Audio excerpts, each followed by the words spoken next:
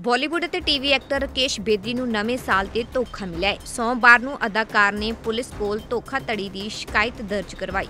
ਅਭਿਨੇਤਾ ਇੱਕ ਫੋਨ ਘਟਾਲੇ ਵਿੱਚ ਫਸ ਗਿਆ ਅਤੇ 75000 ਰੁਪਏ ਗਵਾ ਦਿੱਤਾ। ਹਾਲ ਹੀ 'ਚ ਦਿੱਤੇ ਇੰਟਰਵਿਊ 'ਚ ਅਦਾਕਾਰ ਨੇ ਦੱਸਿਆ ਹੈ ਕਿ ਇੱਕ ਵਿਅਕਤੀ ਨੇ ਉਸ ਨੂੰ ਆਰਮੀ ਅਫਸਰ ਕਹਿ ਕੇ ਧੋਖਾ ਦਿੱਤਾ ਹੈ। ਅੱਜ ਕੱਲ ਘੁਟਾਲੇ ਆਮ ਹੋ ਗਏ ਨੇ। ਸਿਰਫ ਆਮ ਲੋਕ ਹੀ ਨਹੀਂ, ਸਗੋਂ ਵੱਡੇ ਵੱਡੇ ਸਤਾਰੇ ਵੀ ਧੋਖਾਧੜੀ ਦਾ ਸ਼ਿਕਾਰ ਹੋ ਰਹੇ ਨੇ। ਹਾਲ ਹੀ 'ਚ ਗਦਰ 2 ਦੇ ਅਦਾਕਾਰ ਰਕੇਸ਼ ਬੇਦੀ ਵੀ ਇਸ ਦਾ ਸ਼ਿਕਾਰ ਹੋਏ ਨੇ।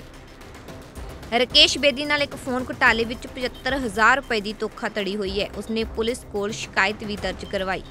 30 ਦਸੰਬਰ 2023 ਨੂੰ ਲੋਕ ਸਾਲ ਦੇ ਆਖਰੀ ਪਲ ਬਿਤਾ ਰਹੇ ਸਨ। ਉਸ ਸਮੇਂ ਰਕੇਸ਼ ਬੇਦੀ ਹਜ਼ਾਰਾਂ ਦੀ ਠੱਗੀ ਦਾ ਸ਼ਿਕਾਰ ਹੋ ਗਏ। ਇੱਕ ਵਿਅਕਤੀ ਨੇ ਆਰਮੀ ਅਫਸਰ ਹੋਣ ਦਾ ਬਹਾਨਾ ਲਗਾ ਕੇ ਰਕੇਸ਼ ਬੇਦੀ ਨਾਲ ਧੋਖਾਧੜੀ ਕੀਤੀ ਹੈ। ਜਦੋਂ ਤੱਕ ਉਸ ਨੂੰ ਪਤਾ ਲੱਗਾ ਕਿ ਇਹ ਇੱਕ ਕਪਲਾ ਹੈ ਤਾਂ ਉਸ ਦਾ 75000 ਰੁਪਏ ਦਾ ਨੁਕਸਾਨ ਹੋ ਗਿਆ ਹੈ।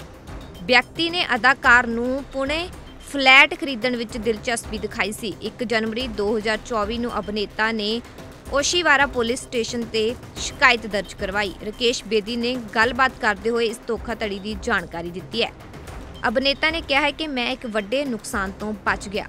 ਪਰ ਮੈਂ ਲੋਕਾਂ ਨੂੰ, ਉਹਨਾਂ ਲੋਕਾਂ ਤੋਂ ਸਾਵਧਾਨ ਕਰਨਾ ਚਾਹੁੰਦਾ ਹਾਂ ਕਿ ਫੌਜੀ ਅਫਸਰ ਹੋਣ ਦਾ ਬਹਾਨਾ ਬਣਾ ਕੇ ਧੋਖਾਧੜੀ ਕਰਦੇ ਨੇ। ਉਹ ਹਮੇਸ਼ਾ ਰਾਤ ਨੂੰ ਹੀ ਫੋਨ ਕਰਦੇ ਨੇ। ਇਸ ਲਈ ਜਦੋਂ ਤੱਕ ਤੁਹਾਨੂੰ ਇਹ ਅਹਿਸਾਸ ਹੁੰਦਾ ਹੈ ਕਿ ਇਹ ਇੱਕ ਧੋਖਾਧੜੀ ਹੈ, ਉਦੋਂ ਤੱਕ ਇਹ ਸ਼ਿਕਾਇਤ ਕਰਨ ਵਿੱਚ ਬਹੁਤ ਦੇਰੀ ਹੋ ਜਾਂਦੀ ਹੈ। Bureau report daily post Punjabi. Bollywood ਅਤੇ ਟੀਵੀ ਐਕਟਰ ਰਕੇਸ਼ ਬੇਦੀ ਨੂੰ ਨਵੇਂ ਸਾਲ ਤੇ ਧੋਖਾ ਮਿਲਿਆ ਹੈ। ਸੋਮਵਾਰ ਨੂੰ ਅਦਾਕਾਰ ਨੇ ਪੁਲਿਸ ਕੋਲ ਧੋਖਾਧੜੀ ਦੀ ਸ਼ਿਕਾਇਤ ਦਰਜ ਕਰਵਾਈ। ਅਭਿਨੇਤਾ ਇੱਕ ਫੋਨ ਘਟਾਲੇ ਵਿੱਚ ਫਸ ਗਿਆ ਅਤੇ 75000 ਰੁਪਏ ਗਵਾ ਦਿੱਤਾ। ਹਾਲ ਹੀ 'ਚ ਦਿੱਤੇ ਇੰਟਰਵਿਊ 'ਚ ਅਦਾਕਾਰ ਨੇ ਦੱਸਿਆ ਹੈ ਕਿ ਇੱਕ ਵਿਅਕਤੀ ਨੇ ਉਸ ਨੂੰ ਆਰਮੀ ਅਫਸਰ ਕਹਿ ਕੇ ਧੋਖਾ ਦਿੱਤਾ ਹੈ। ਅੱਜ ਕੱਲ ਘੁਟਾਲੇ ਆਮ ਹੋ ਗਏ ਨੇ। ਸਿਰਫ ਆਮ ਲੋਕ ਹੀ ਨਹੀਂ, ਸਗੋਂ ਵੱਡੇ ਵੱਡੇ ਸਤਾਰੇ ਵੀ ਧੋਖਾਧੜੀ ਦਾ ਸ਼ਿਕਾਰ ਹੋ ਰਹੇ ਨੇ। ਹਾਲ ਹੀ 'ਚ ਗਦਰ 2 ਦੇ ਅਦਾਕਾਰ ਰਕੇਸ਼ ਬੇਦੀ ਵੀ ਇਸ ਦਾ ਸ਼ਿਕਾਰ ਹੋਏ ਨੇ। ਰਕੇਸ਼ ਬੇਦੀ ਨਾਲ ਇੱਕ ਫੋਨ ਘੁਟਾਲੇ ਵਿੱਚ 75000 ਰੁਪਏ ਦੀ ਧੋਖਾਧੜੀ ਹੋਈ ਹੈ। ਉਸਨੇ ਪੁਲਿਸ ਕੋਲ ਸ਼ਿਕਾਇਤ ਵੀ ਦਰਜ ਕਰਵਾਈ।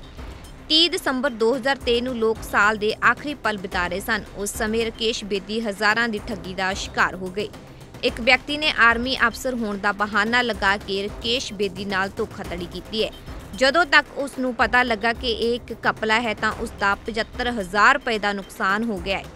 ਵਿਅਕਤੀ ਨੇ ਅਦਾਕਾਰ ਨੂੰ ਪੁਣੇ ਫਲੈਟ ਖਰੀਦਣ ਵਿੱਚ ਦਿਲਚਸਪੀ ਦਿਖਾਈ ਸੀ। 1 ਜਨਵਰੀ 2024 ਨੂੰ ਅਭਿਨੇਤਾ ਨੇ ਓਸ਼ੀਵਾਰਾ ਪੁਲਿਸ ਸਟੇਸ਼ਨ ਤੇ ਸ਼ਿਕਾਇਤ ਦਰਜ ਕਰਵਾਈ। ਰਕੇਸ਼ ਬੇਦੀ ਨੇ ਗੱਲਬਾਤ ਕਰਦੇ ਹੋਏ ਇਸ ਧੋਖਾਧੜੀ ਦੀ ਜਾਣਕਾਰੀ ਦਿੱਤੀ ਹੈ।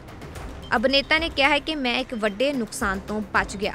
ਪਰ ਮੈਂ ਲੋਕਾਂ ਨੂੰ, ਉਹਨਾਂ ਲੋਕਾਂ ਤੋਂ ਸਾਵਧਾਨ ਕਰਨਾ ਚਾਹੁੰਦਾ ਹਾਂ ਕਿ ਫੌਜੀ ਅਫਸਰ ਹੋਣ ਦਾ ਬਹਾਨਾ ਬਣਾ ਕੇ ਧੋਖਾਧੜੀ ਕਰਦੇ ਨੇ। ਉਹ ਹਮੇਸ਼ਾ ਰਾਤ ਨੂੰ ਹੀ ਫੋਨ ਕਰਦੇ ਨੇ। ਇਸ ਲਈ ਜਦੋਂ ਤੱਕ ਤੁਹਾਨੂੰ ਇਹ ਅਹਿਸਾਸ ਹੁੰਦਾ ਹੈ ਕਿ ਇਹ ਇੱਕ ਧੋਖਾਧੜੀ ਹੈ, ਉਦੋਂ ਤੱਕ ਇਹ ਸ਼ਿਕਾਇਤ ਕਰਨ ਵਿੱਚ ਬਹੁਤ ਦੇਰੀ ਹੋ ਜਾਂਦੀ ਹੈ।